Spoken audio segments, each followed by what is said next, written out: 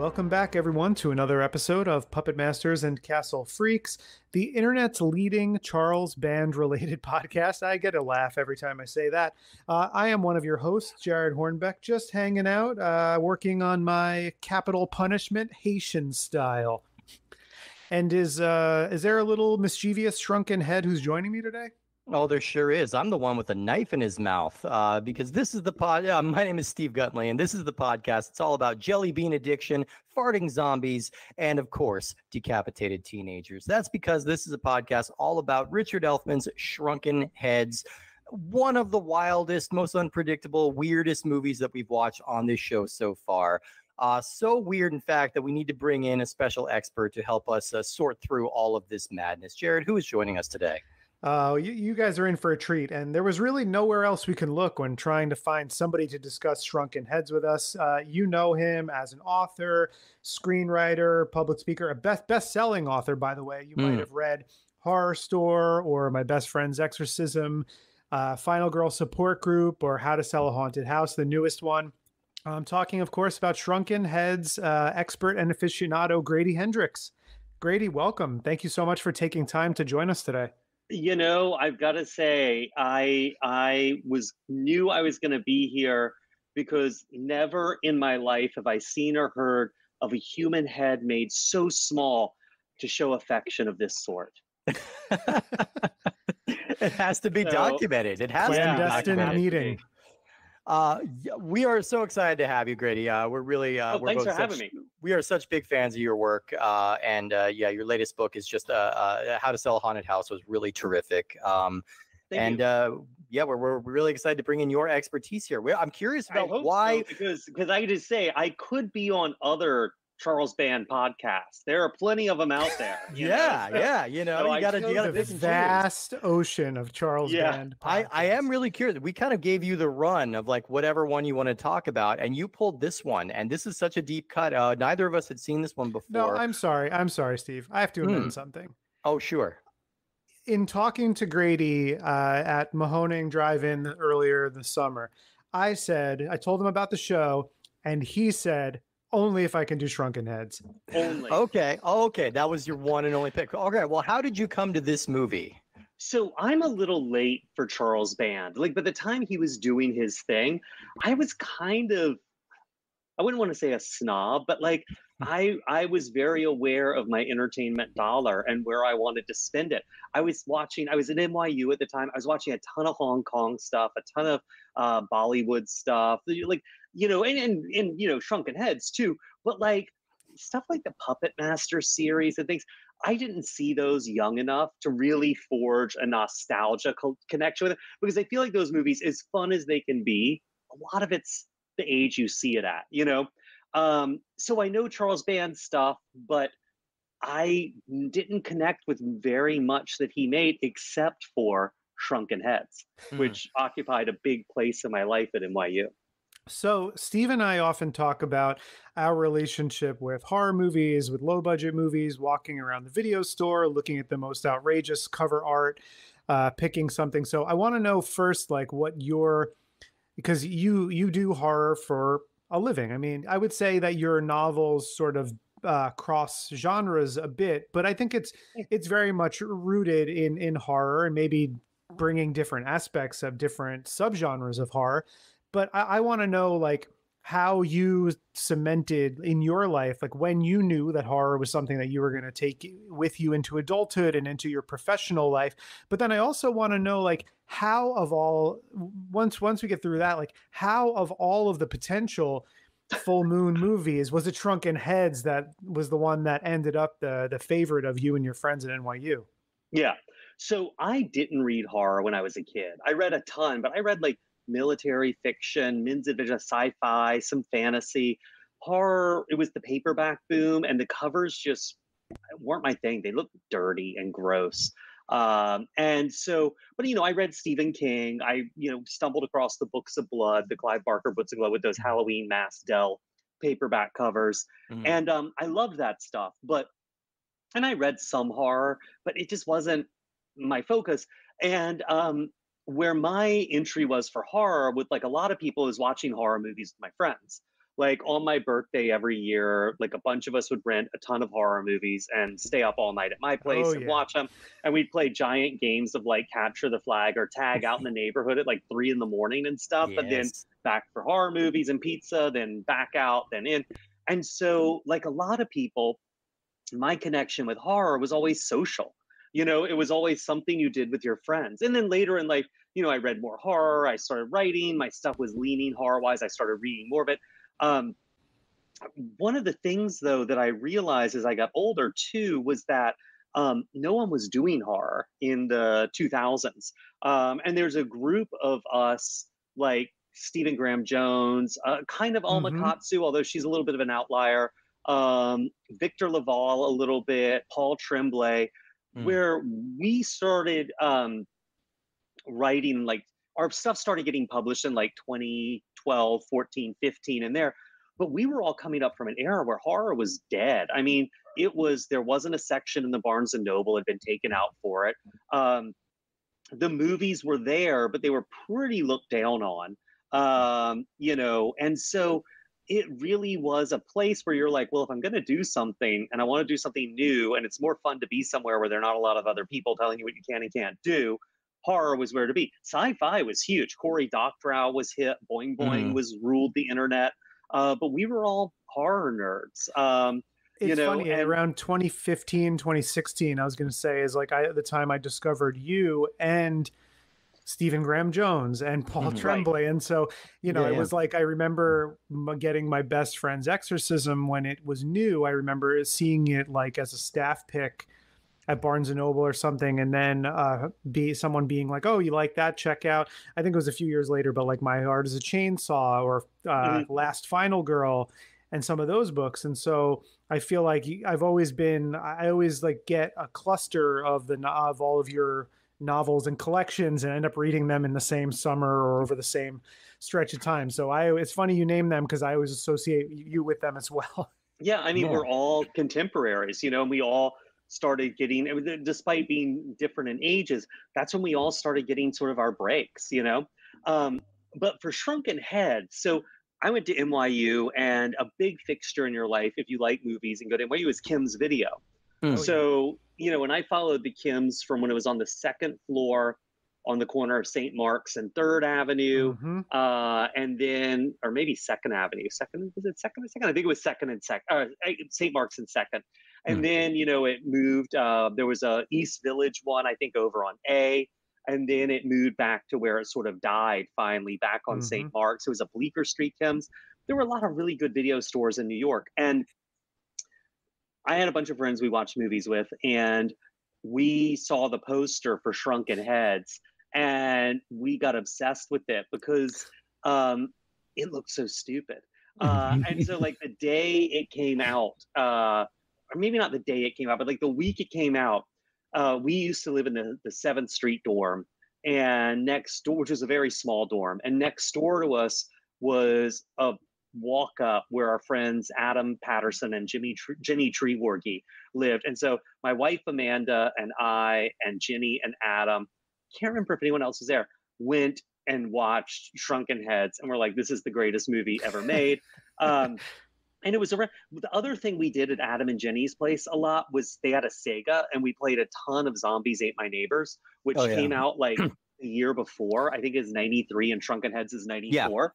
Mhm. So you know, there was a lot of sort of um, I don't want to say comedy horror, but that kind of sort of pastiche horror, you know, uh, was big and around, and it was it was fun. It was different. It was bloody. Like you couldn't you couldn't get over the fact that you were slaughtering people. You know, like right, like, right. um, like if you're playing an action video game, I don't know, it's kind of nerdy. You're machine gunning people. It's eh. But if it's a horror, you're just macheting, you know, zombies. And so it's it was it seemed very wholesome.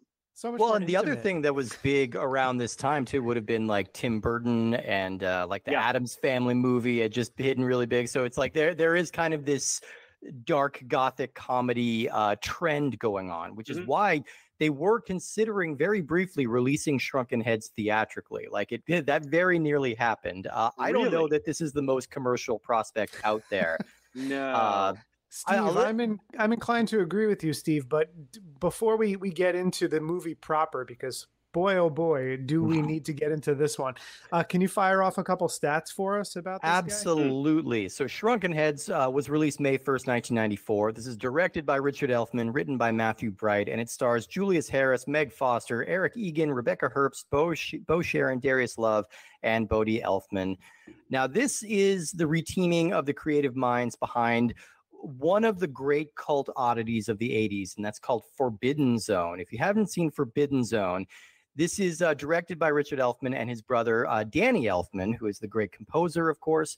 Uh, they formed a theater troupe in the 70s called the Mystic Knights of the Oingo Boingo, which is this very experimental, very weird theater troupe that started to catch an audience. Of course, we know them now as the pop group Oingo Boingo, which they would sort of evolve into from here.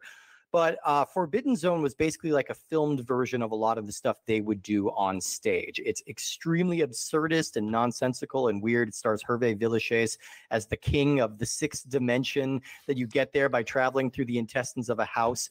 It is so deeply weird.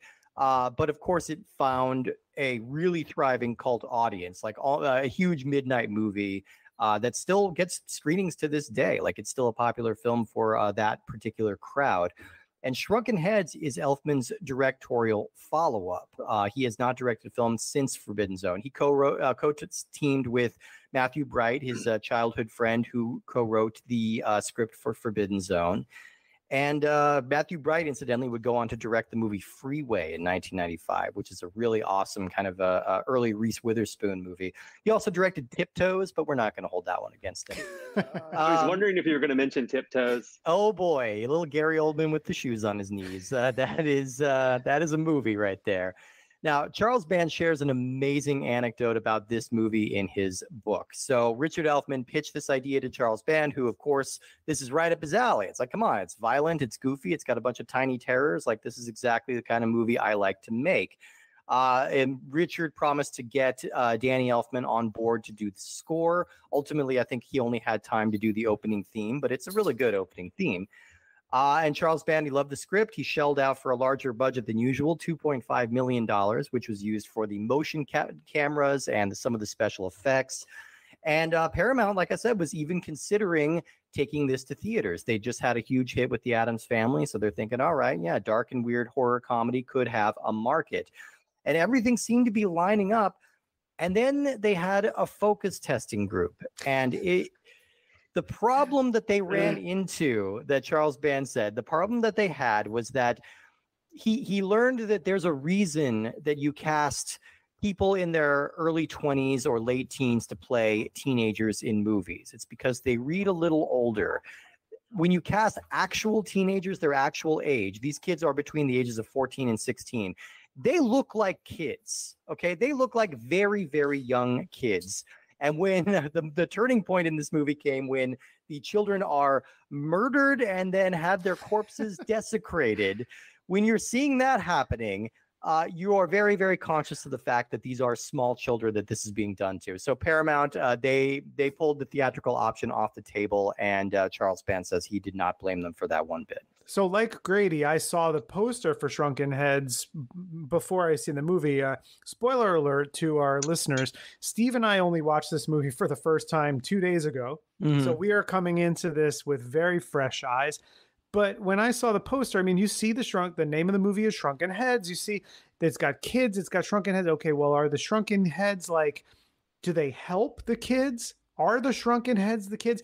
You could have given me until the end of my life, and I would not have been able to come up with the actual plot line of this movie. Right, because they if, were they were setting up like even the tagline. The tagline on the VHS is "They are superheroes from their head to their neck." All right? mm-hmm. they are setting up with all the DC imagery that's throughout this whole movie that these kids are going to be superheroes uh, of some sort. That is in no way what these kids are. That no, is not the, what these, they become. These are the Paul Kersey of uh, you know of Haitian voodoo uh, shrunken. Well. Heads and and they really treat them in the movie like superheroes they shoot them you know in a very batman and robin kind of way yeah. like you know the poppy sam raimi colors and things of Darkman oh, I Um, thought you meant the way they literally shoot these kids. Oh yeah. um, more than once. Yeah. Um, yeah. but also, uh, but also Danny Elfman, you know that theme song, and then you know Charles Band riffs on it, but it Mhm. really sounds like the Batman music when they're flying over the city and going into the alley to beat up the muggers. You feel like you're watching Kid Batman. You yeah there really is a sense that like each one has their own unique powers like one of them Yeah. has vampire fangs one of them has a switchblade that he pulls out of his mouth and the other one has electrical abilities you know so Yeah. they all have their own powers like a superhero group but that's really not what they are like these kids don't really have any autonomy once they become head or i guess i should say they get the autonomy sort of beaten out of them i think they they even have a line saying like uh, the more we fester our hate like that we lose our humanity or something like that yeah. And they just become literal puppets for this disgruntled newsman who used to be part of papa doc duvalier's secret hit squad like What's What? his superpower? Oh, torturing and waterboarding people and making their bodies disappear. I mean, I, the, and also their magical chant um, it includes Haile Selassie, who Yeah. I know is someone that a lot of people are very committed to as a sort of political religious figure. He was also a bit of a war criminal, you know, and, and committed like like there is a weird edge to this where you're kind of like, did Matthew Bright just grab these things because he thought they were cool and quote unquote exotic, or was he doing something subversive with them? I don't know. Yeah, I mean, I had to look up what the Tonton Macoute was, but like they were not good guys, you know. Like Mr. They were a Sumatra is not squad. a hero. yeah, they were not, you know, like most death squads, not super nice. Um, No. yeah, they, But uh, also, Mr. Sumatra is not super nice. That's one of the weirdest things in this is for all the for all of the fact that this exists in kind of the world of it, the mini series, you know, mhm, mhm. small town where the grocer packs up your groceries and they're reading comic books and everything. And it's basically one outdoor set that, like, you know, they just use over and over. yeah, It's these kids are gunned down in the street. Their corpses are mutilated on camera, hmm tortured. They're turned into blood hungry automatons who, like you were saying, Stephen, they're every time they do something violent, their humanity fades. right. They are dedicated to nothing but taking horrible revenge on people. It's really Hey, Gross. that's not true. They also try to go up a girl's shirt. Don't they don't try, they do. they succeed in a in a shot that made me very uncomfortable. That is a very young girl. We should not be looking at that. But yeah, it- although although I think I think, and I'm only saying this because um, I can't think of any other way. I think they built an enormous pair of prosthetic breasts Oh, covered by did her they? bra because that seems to be the actor's face playing the shrunken head yeah. Leaning in there. So if that's, I don't think it's an optical effect. I think they had him made him up and leaned his head in there. So I think they just built a giant fake 15 year old girl's cleavage That must have been a weird day at work for the special effects guy. I gotta say that must for be. A, everyone. Wait, you want me to do what now? Yeah. I love Grady I how didn't you catch that. mentioned that. this is this is like a singular set small town, but it's also very much like New York City. It's like the beginning of a Bronx Tale in this Yeah, movie yeah, for yeah. some reason. And it's like, do you remember? Okay, you remember the movie Streets of Fire? Yeah. Yes. So they have it's like Streets of Fire is like a rock and roll fable, and they describe the setting as another time, another place. I think it is, is what they just say. Like that's that's Yeah. when it, it's another time, another place. I feel like that applies here because they Yeah. have it, it's very urban in the way these kids sort of talk to each other and their accents and mannerisms, and then I mean Vinny and and Booger enter the scene, and I forget the name of the other. Uh, Yeah. thug. Podolsky. yeah, Podowski.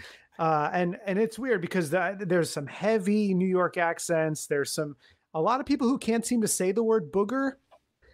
Yeah. Well, they, it's they- it's they struggle with that one. it's greasers. It's like literal greasers Yeah. in 1994, which were not a thing. I mean, I didn't grow up in New York or anything, but they, I don't think they were a thing on the This is streets. a of New York shared in universe with Friday the Thirteenth Five.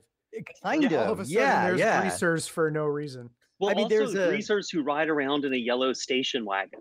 Yeah, yeah. And they take orders from like an androgynous Meg Foster playing a character named Big Mo, which is uh, a really interesting take on the the gangster character. But yeah, no, this movie does feel uh, it's kind of out of time. And I- there's a there's a really intentional artificiality to the sets. I think it felt like nothing less than Sesame Street to me. Like that's Mm. that's kind of the vibe I got. Like they were going to go knock off Mr. Well, there's Hooper a a moment second. when the when the gang they the camera comes around the corner and the gang saunters into frame like it's West Side Story.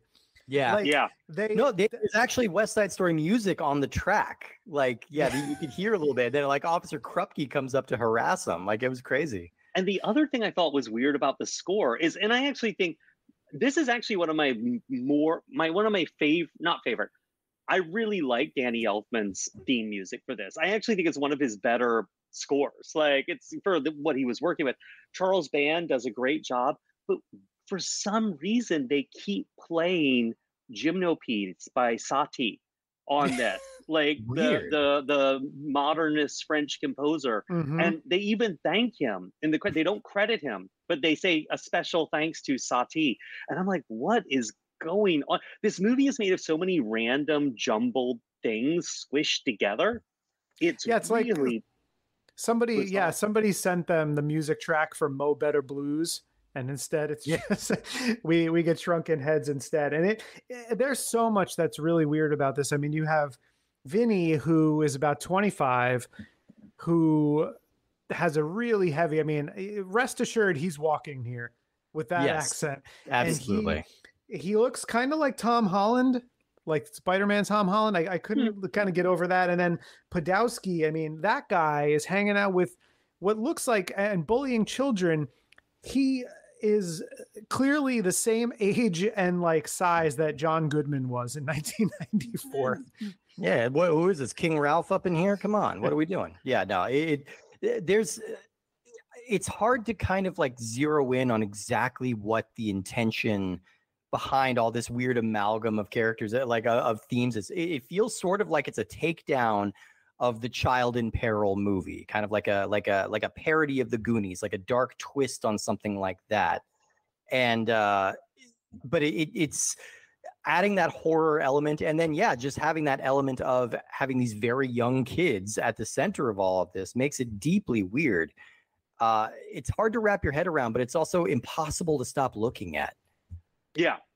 Well, it's also weird because as much it's there were things in it that I agree. It feels totally out of time. Like Vinny, this hardened criminal, gives um oh gosh, what's her name? Jenny, the girl. yeah Sally? mhm. Is it Sally. Oh, Sally, Thank yeah. Gives Sally like a gold heart locket that says Vinny and Sally. Like it's some weird children's picture.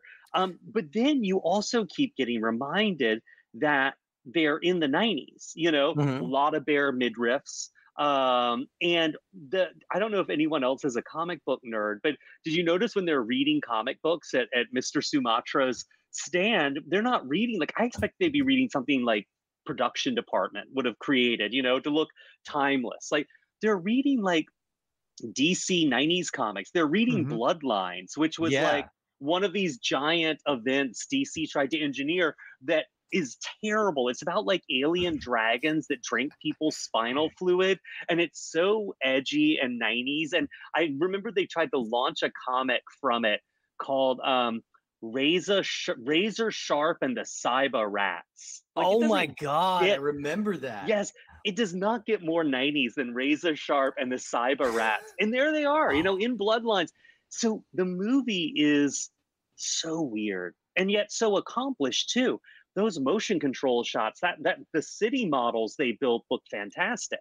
they I do have to say, yeah. I was really surprised at how just how good those looked to me. Like, I mean, you you get what they're doing, you get the trick, the the you know. But I watched the Videozone showing the sets that they built and how how they set up those shots. And I mean, I don't even remember. Like speaking of Elfman, I mean, his amazing uh opening theme to Beetlejuice Mhm. playing over that tracking shot over the model. Yeah.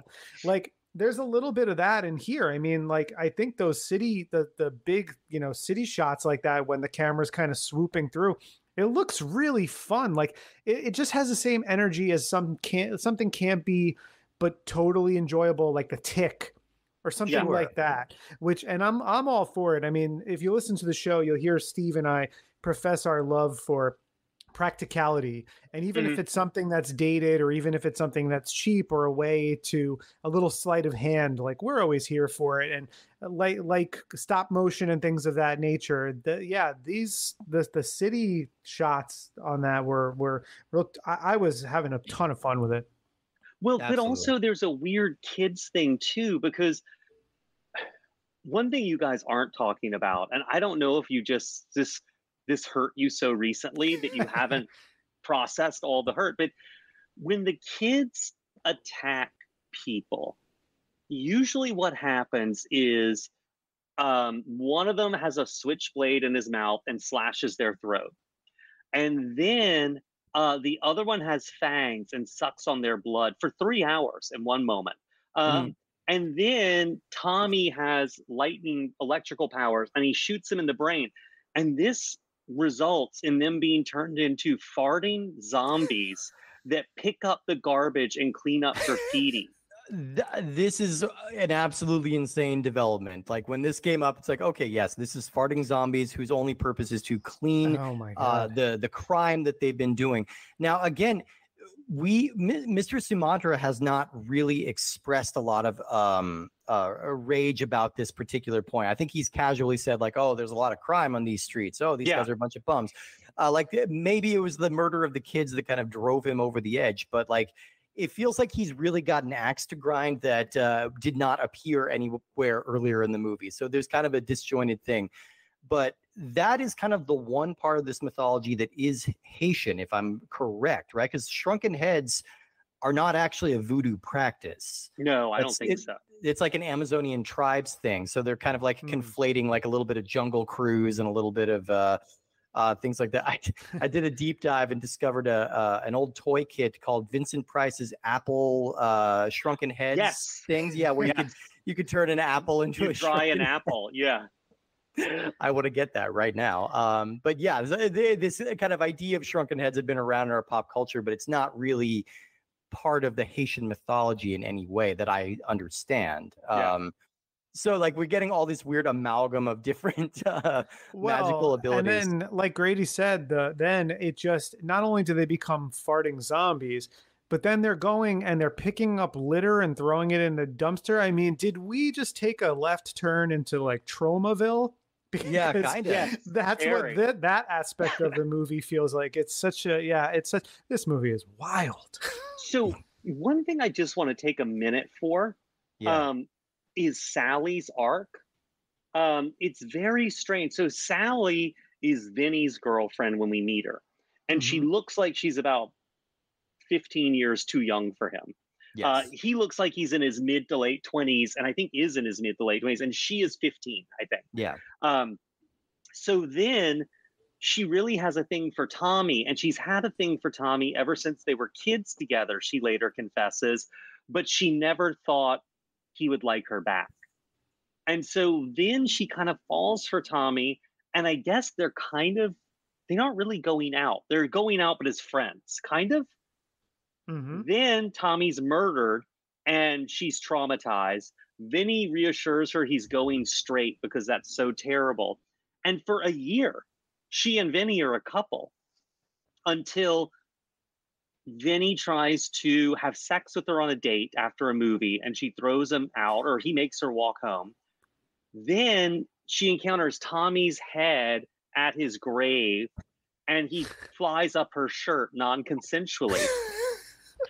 Then she confronts Mr. Sumatra, who explains to her that everything's okay. She's like, This is horrible what you've done to these boys. And he's like, No, no, no, it's good. It's revenge. When she accepts them, sees Tommy, consensually lets him fly up her shirt. Then she becomes a voodoo priestess who's going to be the inheritor of Mr. Sumatra's powers. And at the end, seems quite happy with the way everything's gone and turned out as the Well, I mean, it's a- heads die. It's a tale as old as time, really. Yeah.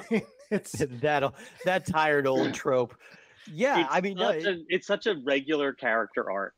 there's such a, uh, a a jarring time jump between when the kids Yeah. become shrunken heads and I then was it's gonna say, why is There's it a a- year? yeah there's a jarring one Yeah. year later because i guess uh, like again at this point i'm still thinking okay so these guys are going to become little crime fighters or something. They're going to go around uh, uh, equipping and fighting and everything. But i mean and they do kind of but it's they need to be broken first i guess which is So, like is the year there because Matthew Bright thought the audience isn't going to buy that they've lost their humanity and have such good control over their shrunken head powers in like a week or two weeks? It's got to be a year to be that convincing. It has to be a conven- a time jump for convenience and for plausibility. As much as I hate But- using that word to describe anything, in but nothing movie. nothing else significant Is- seems to change in that year that's the thing like No. like Jenny is still or uh, Sally is still dating uh the, the Vinny. Vinny guy and like they haven't really gone any further like she hasn't like you would expect maybe in a year like she's either more embroiled in this lifestyle or she's broken free of him and it doesn't look Yeah. like any of that has happened And I Uh, would suggest, Jared, the movie has done nothing to show it has any concern with plausibility up until yes this point. very Uh, true th- This this is fair. I like to think that somewhere there's a deleted scene of like a montage of the year is just them honing their skills. It's just like Freddy trying to whip the switchblade around and it falls out, and then Mr. Sumatra has to pick it back up and put it back on. And there's a, a really fun 80s tune that kicks in when they're finally starting to get it. you're the and after- best around Exactly. And then 300 Well, they do just- use an Oingo Boingo tune later in that They car do. chase. I Yeah. mean, so No One Lives Forever, classic song that you may associate with Texas Chainsaw Massacre 2 Mm. because it's you it's used uh sorry to say this everyone to slightly better effect in that movie than it is here but I was like hey you know that was kind of cool. And also um in the Videozone I I saw that Richard Elfman prefers to be uh, referred to as Rick Elfman at least So, at this time he did yeah yeah, so I, that's so I, I I'll- I will refer to him as Rick for convenience. But Sure. Rick, you know, must have said to Danny like, "Hey, can we uh, license something from uh, Oingo Boingo to to use in the movie?" And they chose "No One Lives No One Lives Forever," which is one of my all time favorite songs. And when it started playing in this movie, I was agog. Did I use Yeah. that word correctly? you did And that's also it's playing over Rick's scene as the preacher of the Church of the Apocalypse. Um, yeah. That And guy that- is big. Yeah. If you watch him in the Videozone, he is a big personality. He's just very expressive and very excitable. And like, he seems like a fun guy. Well, also that you know his booger is played by his son. Uh, Mhm. God, I can't remember the son's name. Bodhi. Uh, Bodhi. Bodhi. Elfman. Bodhi Elfman, who was at the time dating Jenna Elfman, who he Mhm. would later marry of Dharma and Greg fame. Yeah, Um, still and they would married, I become believe, yeah. Scientologists together. Yeah. Yeah. Um, And then there's an elder Elfman, one of the elderly couple who talks about that there's a bad smell coming from Mr. Sumatra's apartment. Those are Uh, those are both Elfmans. That's his grandmother and his father. Yeah. It is really. Yeah. Wow. Yeah. Real Wow. family affair. It's a talented family. It is.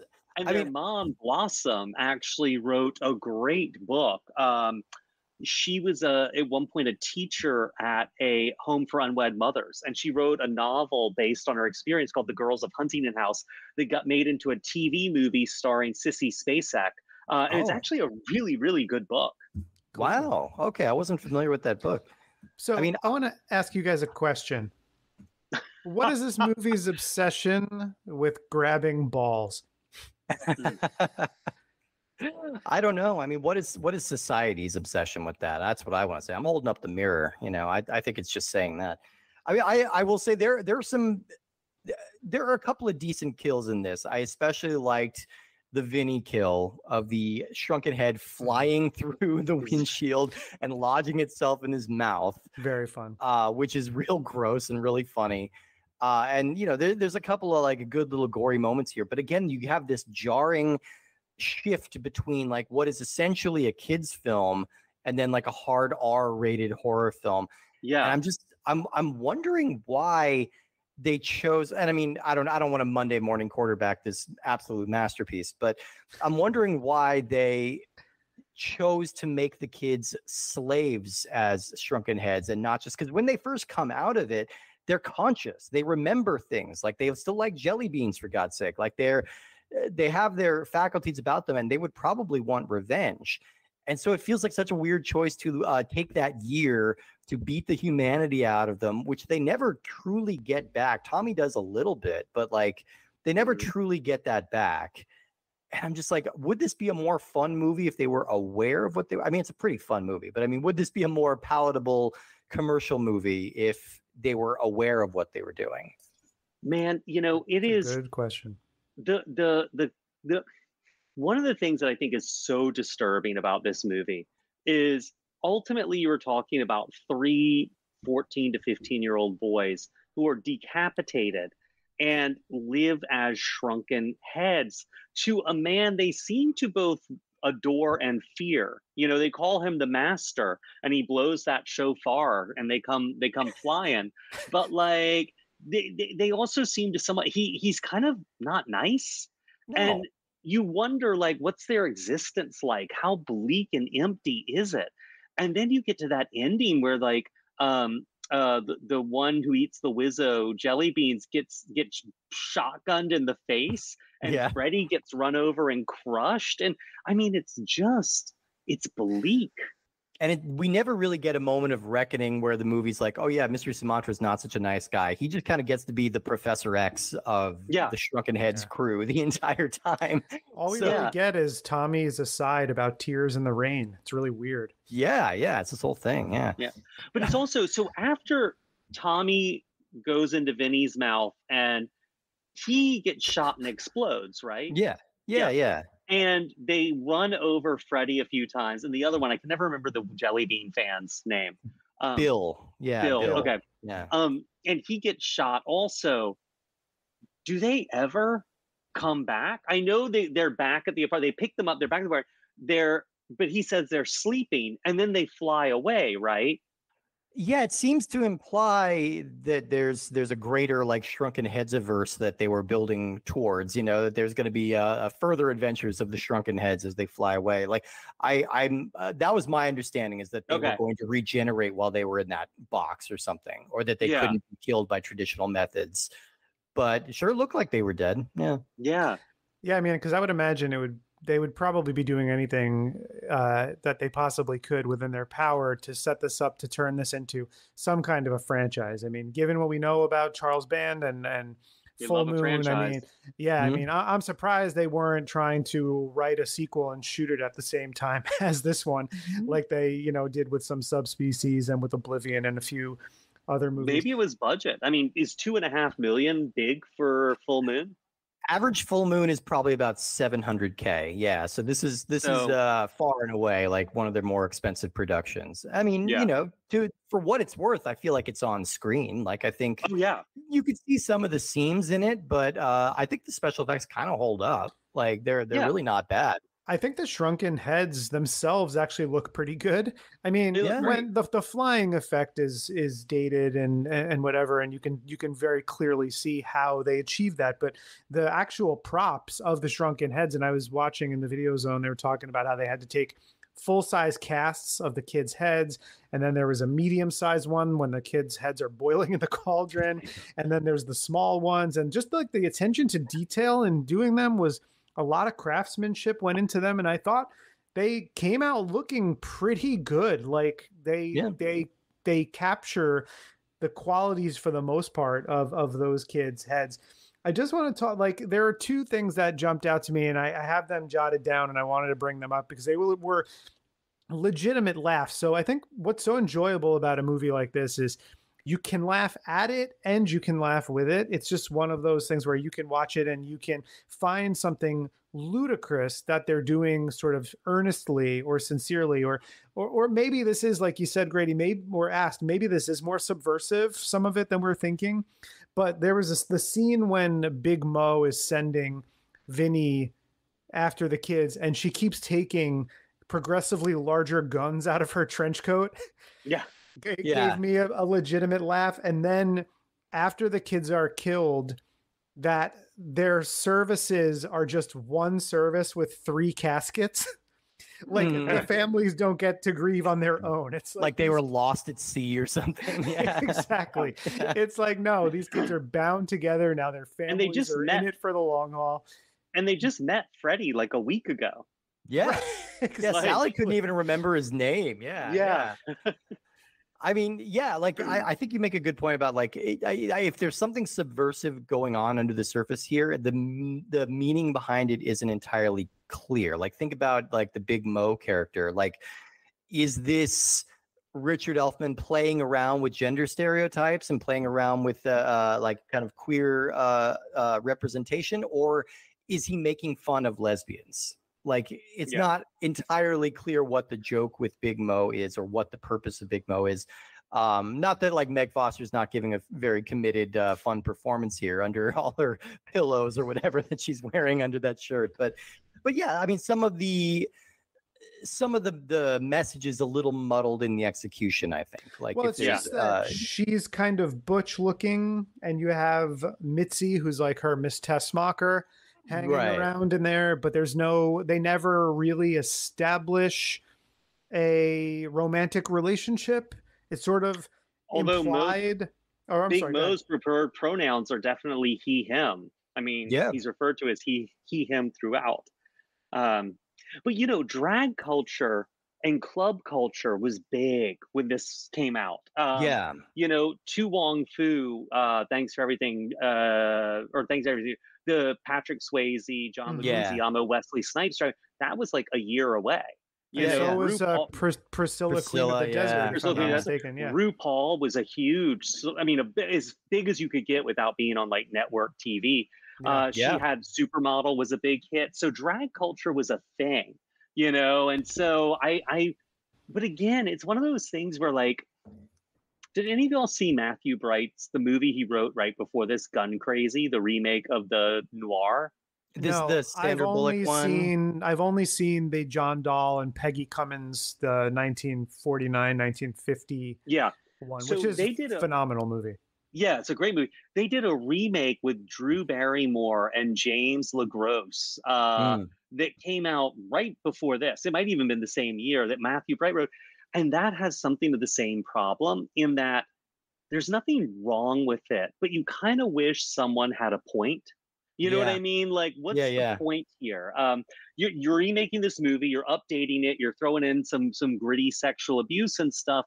But what ultimately is the point? And Drew Barrymore gives a great point, but it's like this: like, it wouldn't have been hard to take one more step and subvert those superhero tropes. I mean, Darkman was 1990, you know, Mhm. like Yeah. just one more step and, and and subvert them, or another step and different and embrace them. But this movie sort of hovers in the middle and sticks a lot of things together that are fun, but like they're all pulling in different directions. Well, and I think that has a lot to do with the fact that Full Moon's basic like model of operations was home home video. Mhm. And I think it was, I, I- I think in order to really commit and subvert, you might alienate some of your perspective. I I mean, this is a rated R. This is a hard R movie. I Is it? It's we- rated R. It yeah. is. We Yeah. we don't get any um, actual nudity in the movie, but we get a lot of profanity, and we get uh, you know murdered children, and we get uh, you know some farting zombies and revenge. I mean, this is so, and I think I think maybe even like having bringing this thing on an R was already sort of a compromise. I can imagine Charles Band in his mind wanting it to skew a little more child friendly, only because there could be crossover with his, you know, the newly started Moonbeam Entertainment of stuff they're Right. putting out really just for kids. And I think if you see the cover of this, like a kid is going to be drawn to that cover, and so I think they they they there was a little give and take about how serious this should be and how subversive or how broad should some of the stuff play so that kids can laugh at things and not be scared of it but there's also some gore and profanity for adults. Like this is this is just a strange piece there there is like i did clock it, it when this happened. Like you, we don't get our first f-bomb in the movie until after the kids get shot and then it's immediately like Yeah. that. So there is kind of a weird like split point in the movie it's like okay we've stopped being a kids movie now it's gore now it's f-bombs like it, it, there is kind of a specific point where that happens which again makes me feel like there's something more operating under the surface here Mhm. um or, or that this is just meant to be maybe it's just meant to be kind of like a demented takeoff of a kid's film. You know, like maybe they're starting with that blueprint and then just twisting it. But you really wonder, it wouldn't have taken much to make this PG 13. Um, no. So maybe it's just not. the concept that these kids get murdered, decapitated, and their decapitated heads take revenge that's going to get you an R no matter what. Like, you know what I mean? Yeah. No matter how you play it, a script with that in it is going to be an R, which The I think MPA is are such sticklers for child decapitation. Ugh, ugh, fuddy it's duddies. such a mistake, I feel like, because the one place in my experience that ever policed the R rating and the age of the viewer of the patron was a video store. Yeah. You know, and I remember back in the day, like clerks would be like, I can't rent you this, I will get in trouble. Yeah. Um, you know, like, and I'd have to get my sister to rent an R movie, even if I was standing right there. Um, and so it's like, did they really think an R movie like this had a big adult audience? Like, how did this do? Do we know?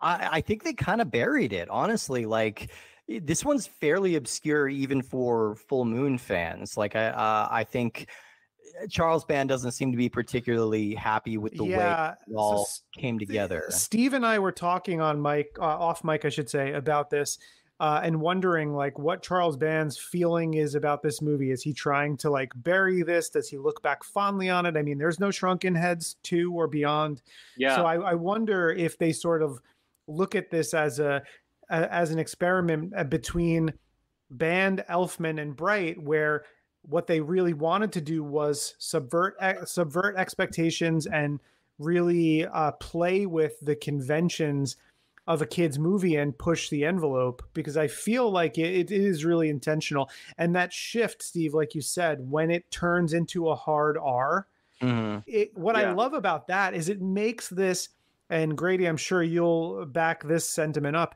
It makes this the perfect like midnight movie. Like introduce this movie to your friends after you've you know been drinking or you're you're sitting down or you want to see something crazy because no one will predict that this movie is going to take that hard R turn that Mhm. it takes. And I think it, it was kind of like shocking, but you know, for me watching it for the show, I was delighted.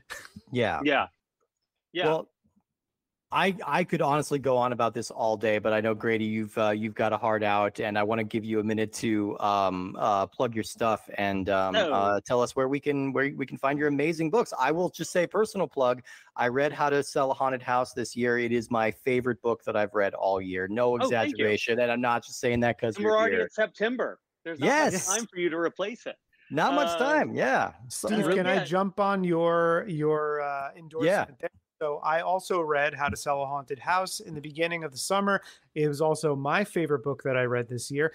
And I had the same thing happen when I've read for the first time my best friend's Exorcism and Final Girl Support Group, which was probably like 2017 and 2021.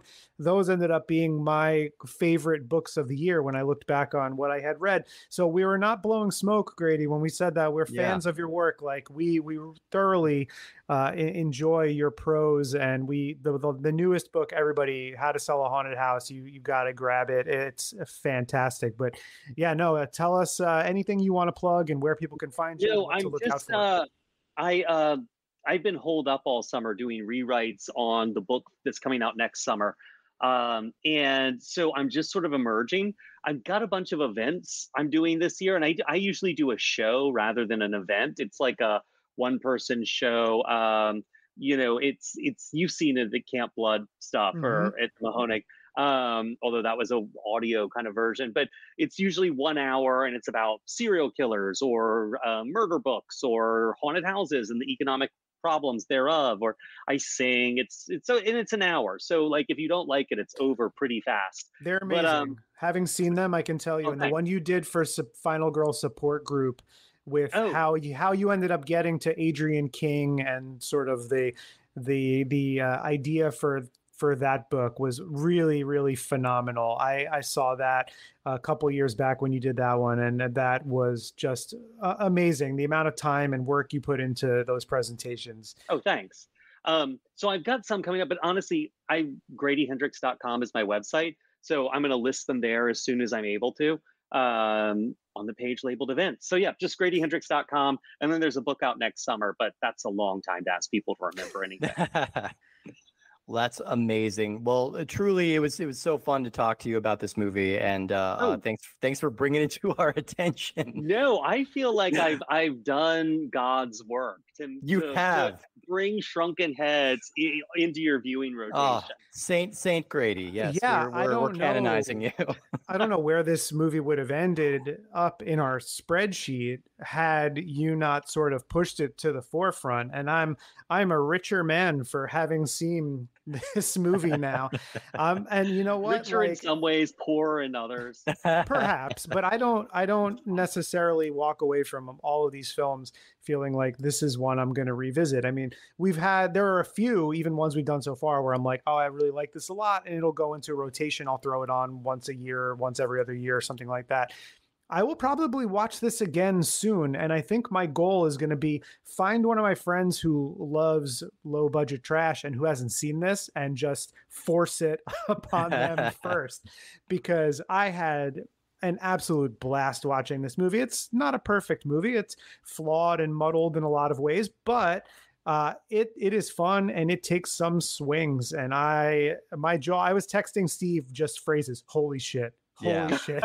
There's a lot of those. Yeah. while while we were watching it. But uh, no, and Well- uh, Grady, I'm sure I'll see you probably at a Mahoning drive-in event at some time, at some point in the near future, or uh, and so I Oh, look yeah. forward to to those events. Uh, listeners, if you enjoy what we do, uh, tell a friend. Also, jump on to Apple Podcasts, Spotify, wherever you're listening, and drop us a five star review. If you feel so inclined, you can write a nice brief uh, rating. I meant you could write a review if you want to and say some kind words. Also, you can email us at, at puppetmasterscastlefreaks at gmail.com with any questions, comments, or feedback. Uh, you can follow me on Instagram at underscore cowboy Jerry. You can follow Steve at Minotaur Matador, and you can follow the show at underscore puppet or at puppet masters underscore castle freaks. And uh, Steve, can you just let our gentle listeners know what we've got in store for next week? Oh my goodness, we've got a big one coming up next week as well. Uh, we are going to be talking about the movie Killjoy. Yes, that's right, a killer clown movie. I don't think that's been done before, so I'm Oh, excited to see what they do with that. Yeah, a whole Mhm. franchise, a little, a little uh, late stage uh, uh, uh, full moon franchise. Hopefully, not as t- tough to sit through as Evil Bong, but And Uh, we'll super see how that exciting goes. because we've got another uh, very special guest to joining us, Stevie Webb from the amazing Brain Rot podcast. I know UK listeners will be very familiar with the work that he does, so he'll be joining us. And he also recommended this movie, so this is another like, oh, conditional. I got to do it if I can do Killjoy. But uh, so, yeah, listeners, thank you so much uh, for tuning in every week. Again, Grady, thank you so much for joining us, and we will see all of you next week for Killjoy.